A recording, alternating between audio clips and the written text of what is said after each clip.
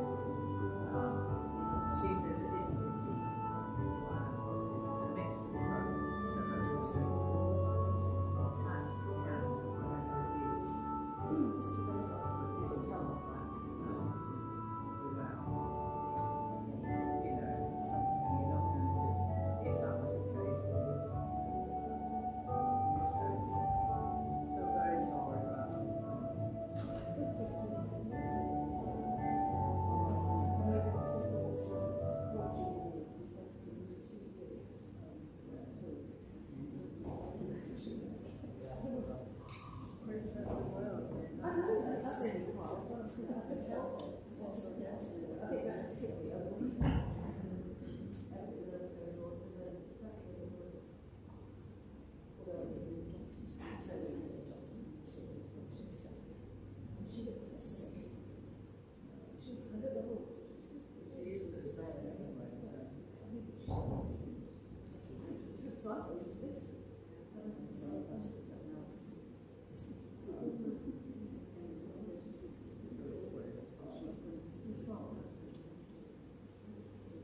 Morning. Morning. Morning.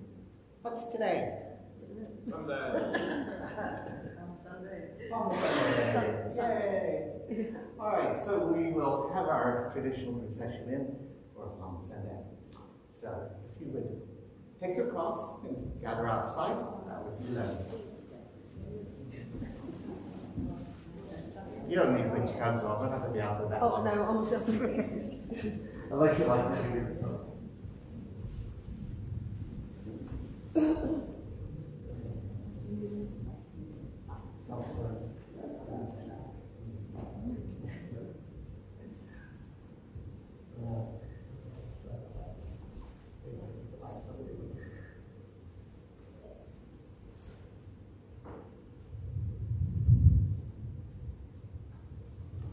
that brisk, warm air.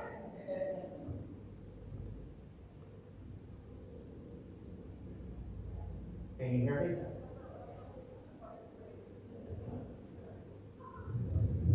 Or Mark never gets the process in with us. All right. Uh, whoever's last in the north, if you'll close that interior door, that would be great. No, the last one in. Yeah. But I'm going to close it before I everybody gets in. All right.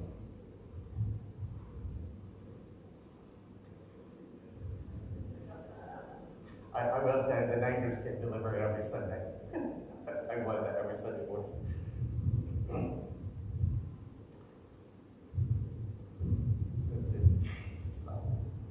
All right. Friends in Christ, we gather with Christians around the world to celebrate the holiest of all weeks in the church's life. It is the week in which Christ entered in triumph into his own city to complete his work as God's Messiah, to suffer, to die, and to rise again. Let us remember with devotion this entry, which began his saving work, and follow him with a lively faith, united with him in his suffering on the cross. May we share his resurrection and new life. Let us pray. Triumphant God, who comes to us one who seeks and serves. Lead us through the events of this holy week, that we may receive Christ afresh into our lives and embody Christ's Spirit into the world. Fill now our hearts with gospel joy, as with anticipation we enter the sanctuary. Bless us, and these branches we bring, that our very being shall cry aloud. Hosanna, Hosanna in the highest heaven. Amen. We go in following what we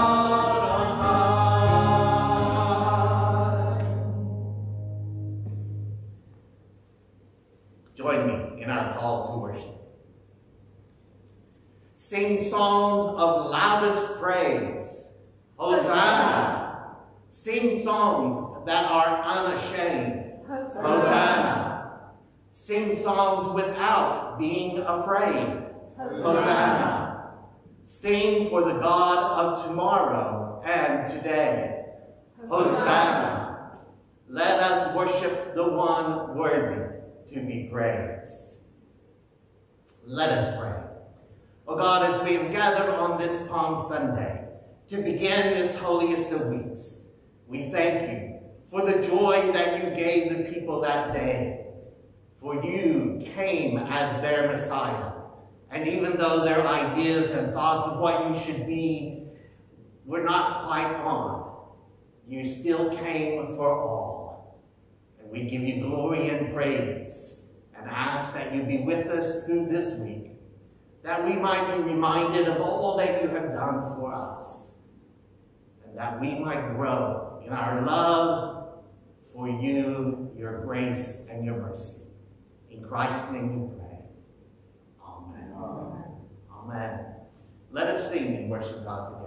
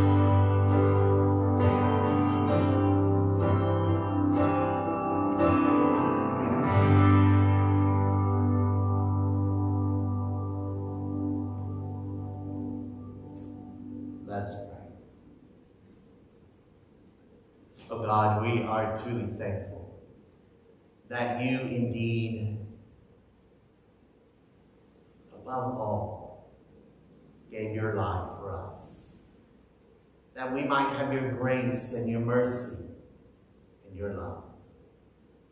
God, we are so thankful.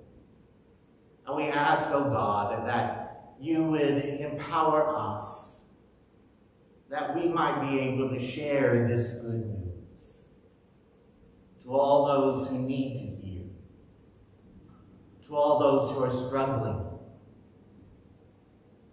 all those who have that inner desire to connect with their Creator. Many don't even realize what that intimacy is. Others of God need grace, living lives of guilt and regret. Oh God, help us to reach them with your grace, with your forgiveness, with an unconditional love, that they might know that the God who made them loves them, no matter where they come from, who they are, what they've done. A love that will not let them go. Lord Jesus, we are also mindful that during that horrible time of your crucifixion, that you took stripes upon your back. Scripture says, by your wounds, by your stripes, we are healed. God, we lift up those who are struggling with illness. God, we pray for the King and we pray for the Princess of Wales, their diagnosis of cancer. that You will bring healing to their bodies. And to all those, of oh God, in our community who are suffering from cancer and other illnesses. We ask, O oh God, for your healing touch, for your presence to be with them. Let them know that they don't walk alone, but you are with them. For those who are struggling in times of worry and stress over relationships and family, finances, work, school, life. Oh God, comfort them. May they know that you are ready, able, and willing care for them to walk with them, to hold their hand, to carry them, to embrace them and love them. We thank you for your great love, for your great goodness. Through Jesus Christ our Lord we pray. Amen. Please be seated.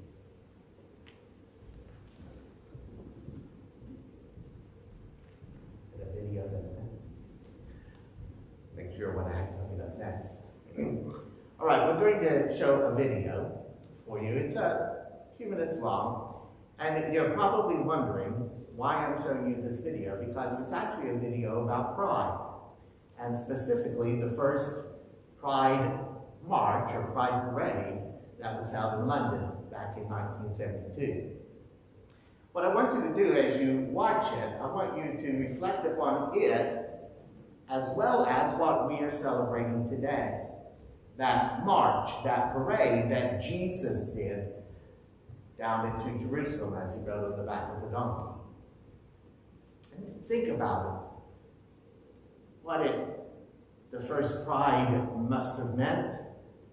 What maybe your first pride march or parade meant to you and compare that to what must have been going through the minds of Jesus and the disciples, and indeed, as we've been looking at Peter, what must have been going through Peter's mind. Let us watch and reflect.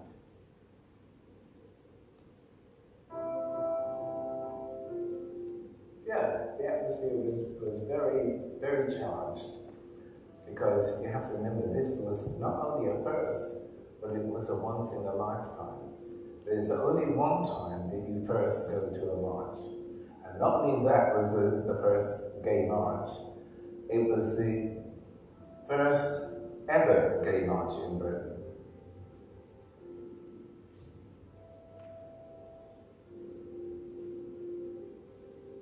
I put on my Gay Liberation Front badge at Blackheath Station and caught the train to come to Charing Cross Station, walked across the Strand uh, to Trafalgar Square, and saw a couple of people carrying the Gay Liberation Front banner. People were dressed in such a way that you couldn't necessarily tell who was male and who was female.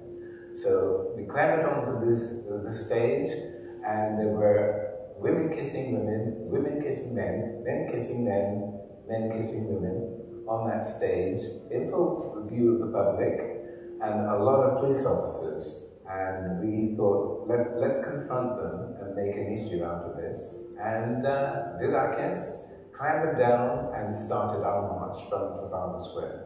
The morning of the Pride March was really exciting. And I got up, my girlfriend Gabby Charing, we put on our Gay Liberation Front badges, got onto the tube, held hands, got there and joined the march. I think it was very important for those of us who felt we could to wear the Gay Liberation Front badge and make it obvious that we were gay. Because so many people could marry lesbians, for instance, would, if they started wearing Gay Liberation Front badge and immediately lose custody of their children. So it was very important for us that could do it to show that gay was good, gay was angry, gay was valid, Gay was not a sickness. Gay, the hat showed the way forward. London Pride in 1972 was the first in the world to call itself Pride. There had been similar events in the United States, but they called themselves things like Gay Liberation Day.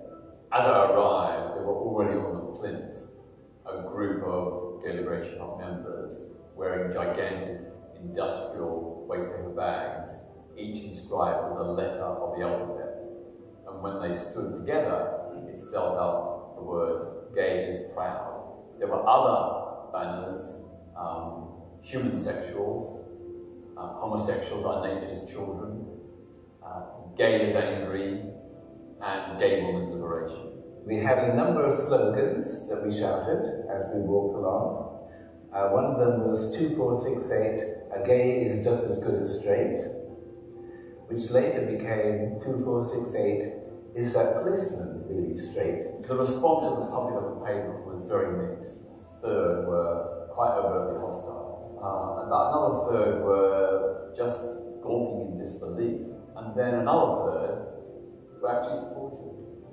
They gave us a thumbs up. They wished us well. Then when we got to Hyde Park and we had our kissing and um, shared weed and sandwiches in the, in the, in the park and men got, um, took all their clothes off and danced and we all kissed each other. And I mean, the police just did not know what to do because there were so many of us, like hundreds of us doing this. They were all looked a bit uncomfortable, I thought. At the end of that first Pride, we felt, we've done it. We've done it this year, we're going to do it again next year. It's amazing to think that what began as one pride in London in 1972, with only about 700 marchers, has this year exploded into over 190 pride events across the whole of the UK with a million people. I think it's important to recognise that GLF did start all this off. It's not really about us, it's about the movement being recognised.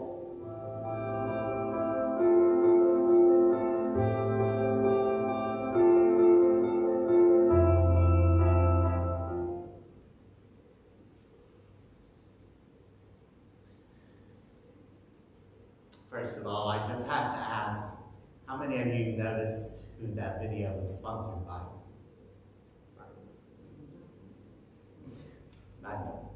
True to pleasure. Those of you who don't know, it's a brand of condoms. Probably the one and only time you will have seen a video sponsored by condoms in church. I. All right. so, tell me, as you watch that video and you think about Palm Sunday, what's some things that you see some similarities?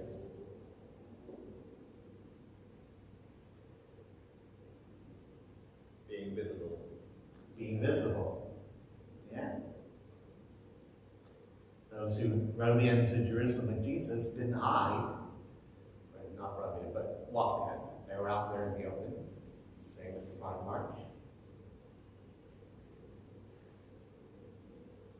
Others? Having an end goal for the better of other people. Say that again. Having an end goal for the better of other people. And then go for the better of people. Yeah, good. Triumphant, but as a feeling. Triumphant feeling. Yeah, that's good. Do you remember that feeling the first time you were in a pride parade? Or at a pride event? Feeling that good feeling of being there? Imagine it was probably quite like that on the first Palm Sunday. What about, uh, said about the fact that it went from one to, was it 190, over 190 now taking place in the UK? You ever think about the spread of it? How many churches today around the world process in, worship God, tell about Jesus? Yeah. It's been quite well, didn't it? All right, as we prepare for our gospel reading, would you rise as you're able and let us sing together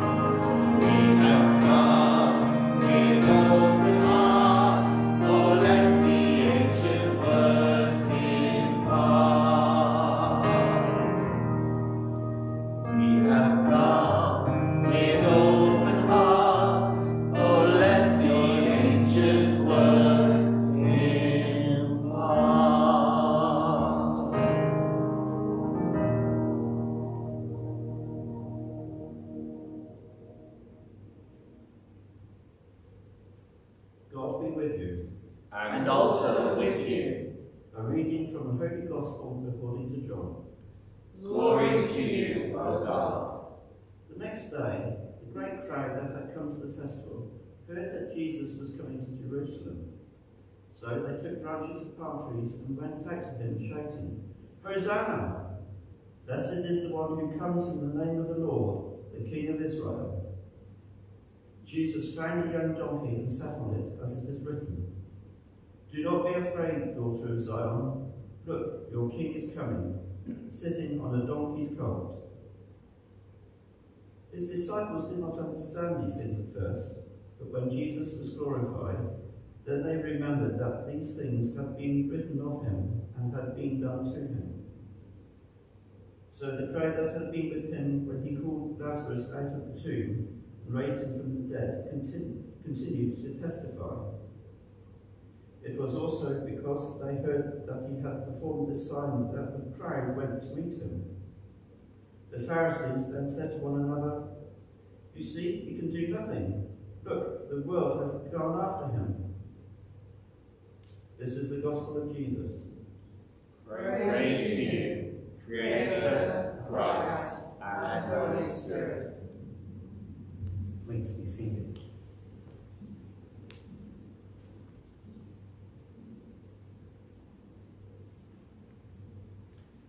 Let us pray. God of grace, your word is like a song. It is the melody that we long to sing. The refrain that we pray will get stuck in our heads. So as we return to Scripture once more, we pray that you would allow us to sink into this song. Allow us to hear the truth in between the words. Allow the crowd, the cries of the crowd's hosannas to feel like our own. With open hearts and open ears we pray. Amen.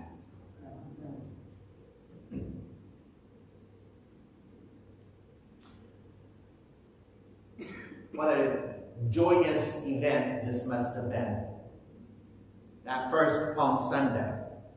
I mean, we see the, the crowds are gathering and they're throwing down their cloaks and they're waving the palm branches and they're celebrating Jesus riding in on a donkey.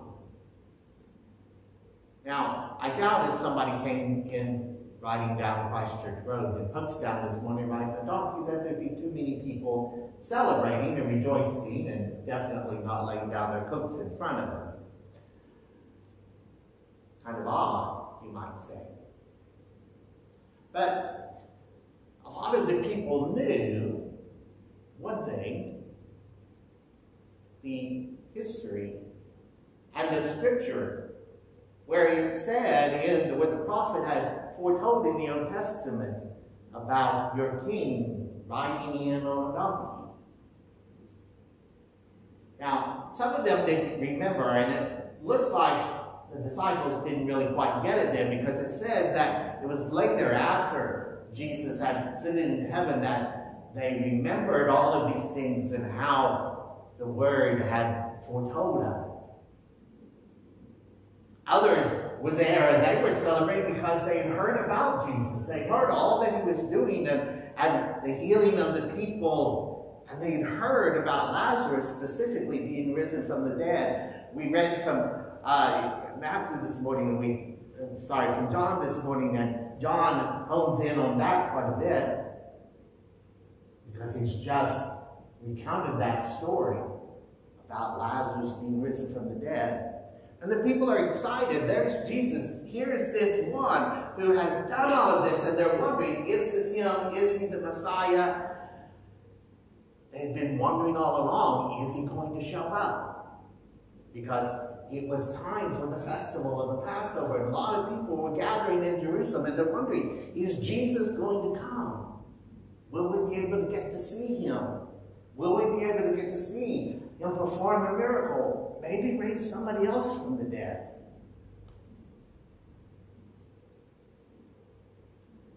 The excitement that was there, the expectation, the joy. And like we said, a lot of us experienced some similar things along these lines when we went to our first gay, LGBT pride, trans pride, whatever event. And we celebrated. We gave thanks for the thought that we could actually do this publicly. We rejoiced and we had joy in ourselves, thankfulness. Even those who don't identify as LGBT plus have heard the stories or maybe been there with a friend or a loved one who experienced it for the first time. See the joy and the openness and what must it have been like for the people that were there on Palm Sunday as Jesus rode in?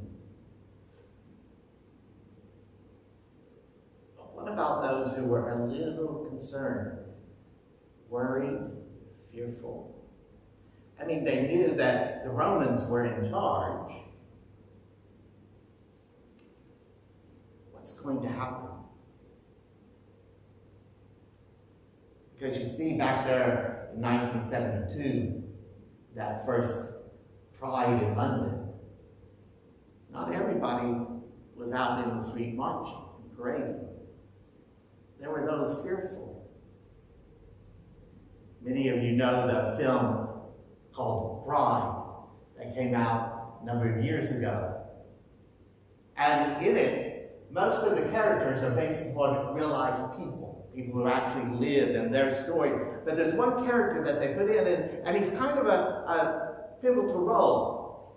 I think his actual name is Joe, if I remember correctly, but he's known as Bromley because that's where he's from. And so they kind of nicknamed him Bromley. And he's a character who's not based upon a real person, but maybe a combination of different people. But they use his story because it's his experience of he's in the closet and his parents don't know and he wants to come out and he wants to get involved. And so they kind of weave the whole film around his story being there in the middle.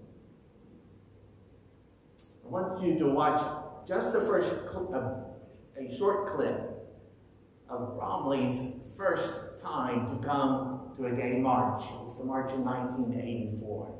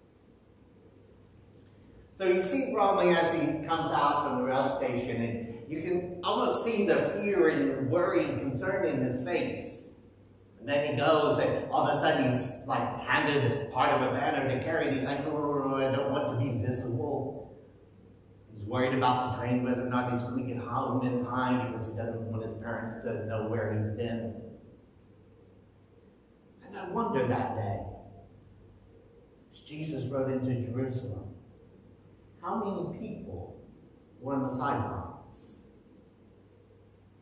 They were fearful, just, just like in the, the parade where somebody threw stones. They were like, now what are the Romans going to do? What are the, the leaders in the temple going to do? Wonder about the disciples that day. It doesn't say a whole lot about them. Earlier in some of the Gospels, we know they go and get the donkey for Jesus to ride on, and they say they put him on there. But what's interesting is it doesn't say anything specific as they rode into Jerusalem about the disciples. Where were they? What were they doing? We kind of assume they were with him. But did they worry? Were they concerned? Were they fearful? What were their thoughts?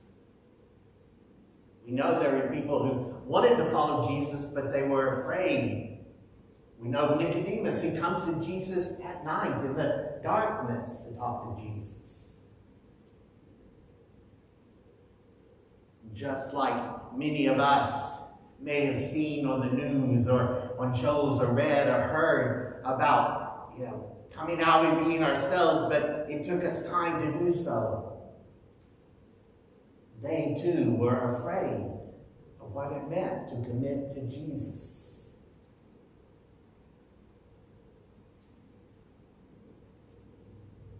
Sometimes we are like that in our faith walk.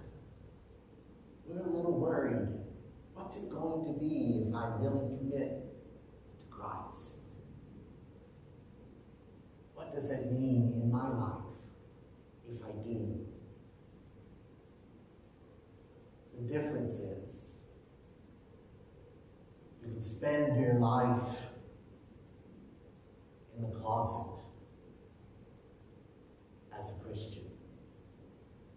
Or you can get out there with the crowd, with Christ, coming into town and celebrate and rejoice, singing songs of praise and worship, and not be afraid to say, I'm with him. In the other Gospels, Matthew, Mark, and Luke, and the question that comes up later when Peter is there and, and being asked about who he is, and they ask, Are you, you know, are you with him? I know you. But in John, the question is, are you one of his disciples? Not just were you with him. I saw you hanging out. But it's more poignant. Are you one of Jesus' disciples? Today, and as we go through this week, let us make that new commitment. Not to just be seen in church. Not just to say, oh yeah, I was baptized. But to say, loudly, proudly, with songs and declarations of Hosanna and praise and worship, I am one of Jesus' disciples. And let us sing the joys of that. Let us pray. Oh God, we thank you. We thank you that we can celebrate our faith in you because we know that you are always with us. The good times, the bad times, the joyous times, the difficult and sad times. We can rejoice because you are with us. may we, O God, not be afraid to say, we're one of yours. We follow you, Lord Jesus. Amen. Amen.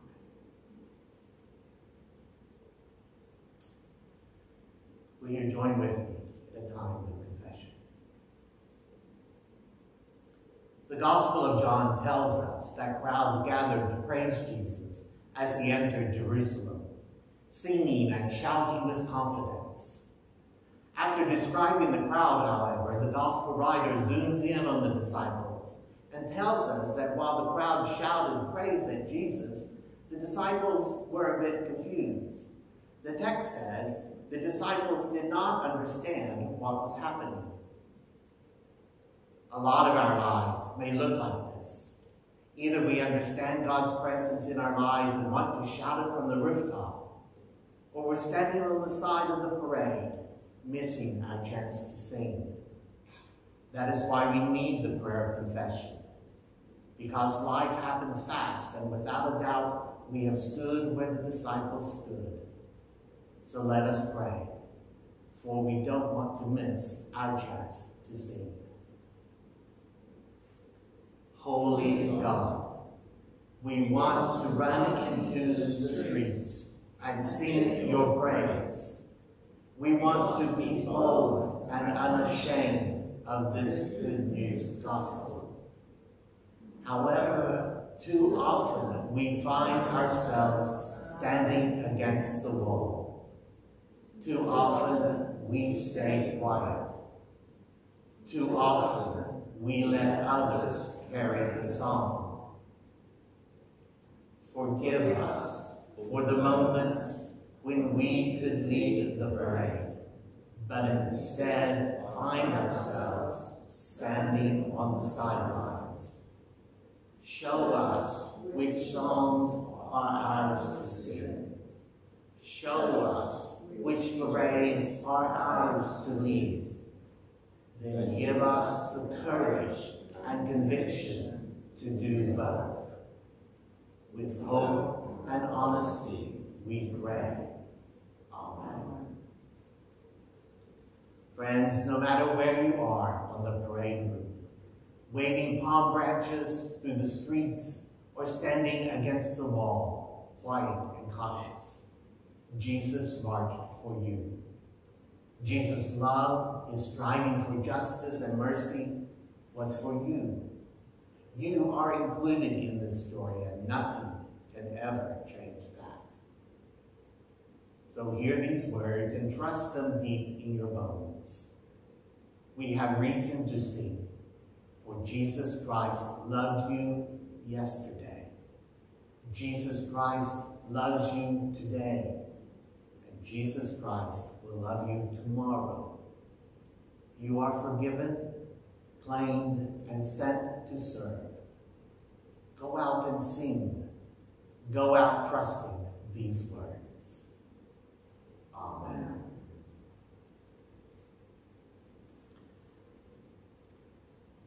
As we come to this table to receive these gifts that remind us of the body of Christ that was broken and crucified for us, and the blood that was shed there for our sins. May we rejoice and sing songs of praise because of the redemption that we have. On the night that Jesus was betrayed and handed over and was tried and crucified, he took from the table the bread that was there, and he gave thanks to God for it, and he blessed it, and he broke it. And he said, Take and eat. This is my body, which is broken for you. Do this in remembrance of me. And likewise, he took from the table the cup. He gave thanks to God for it and blessed it, and said, Take and drink of this, all of you. For this is my blood of the new covenant, which is poured out for the forgiveness of your sin. For as often as you eat of this bread and drink of this cup, you proclaim Christ's death until he comes again. Let us pray. Oh God, we ask your blessings upon these elements that they might become for each of us your body and your blood, reminders of your grace through Jesus Christ our Lord. Amen. Let us declare and affirm our faith together. We believe in Jesus of Nazareth, who rode through the streets of Jerusalem on a donkey we believe in Jesus of Nazareth, who challenged Rome's oppressive power with peaceful protest. We believe in Jesus of Nazareth, who was surrounded by crowds of dreamers and believers. We believe in Jesus of Nazareth. So even today, we will sing songs of loudest praise. Hosanna, blessed is the one who comes in the name of the Lord. Friends, the table of God is spread for the. Come, let us feast together.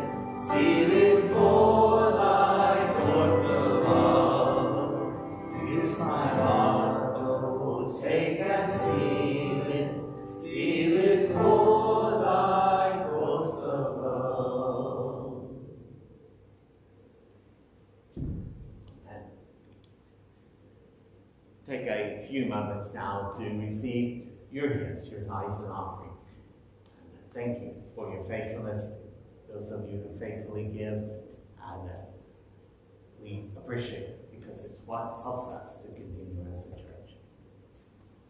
And as you're giving, also there's QR code there. If you want to give online, you can scan that and take you to our donate page.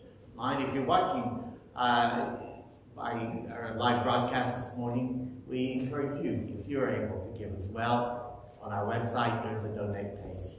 And you can give. It gives you all the information there. Thank you. This, of course, is Holy Week, and uh, so we have several services planned this week, which Mark is going to go to the slide so I can remember. this Thursday, we will have a Maundy Thursday service at 7 p.m. on Thursday evening. I meant to mention that the hymn that we sung at the end of communion, Come Thou Fount, I mentioned this before. And I don't know if you guys have picked up the words in the hymn are the themes that we've been doing every week. So if you pay attention to the hymn, you'll, you'll see the phrases. And on Maundy, Thursday, it's streams of mercy. When we look at the mercy of Christ and talk about how uh, Jesus washed the disciples' feet and gave mercy, even though he knew that Peter was going to deny him, he knew that Judas was going to betray him, the streams of mercy. Then on Good Friday, we'll have a service on uh, at 11 a.m. in the morning, and that is prone to leave the God I love, as we recall how Peter denied Christ, even though he loved God, he felt kind of trapped and felt like he should leave and deny Christ. And then, of course, Easter Sunday, we will be celebrating, and I hope, the hope that we have because of the resurrection. And also, uh, Kevin Teresa will be again leading a Holy Saturday uh, hike, and so you want to join with that, participate. If you want more information, you see Kevin, we'll be glad to share that with you. All right, would you rise as you're able for our benediction and our closing meal? Beloved wanderer, as you leave this place, may you carry your curious heart on your sleeve. May you look for God in every face. May you find the courage to get out of the boat, to run to the tomb, and to speak of your faith. And when the world falls apart, may you hear God's voice deep within, saying, Take heart, it is I, be not afraid. You are called, you are blessed, in both your ups and your downs. You always belong to God. Go now in peace. Go trusting that good news. Amen.